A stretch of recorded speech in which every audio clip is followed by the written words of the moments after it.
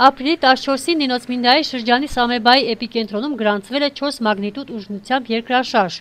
Այս մասին է մանրամասնում սեյսմակայանի տնօրեն Վարդ Խանդիջյանը։ Երկրաշարժը գրանցվել է երկու հետ ցնցում, մեկը 1:23 րոպեին, մեկն էլ 12:13 րոպեին։